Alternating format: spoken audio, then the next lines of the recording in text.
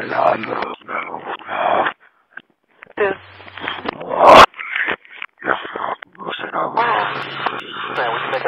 to all the 4th District personnel that all of the court branches are open in the morning.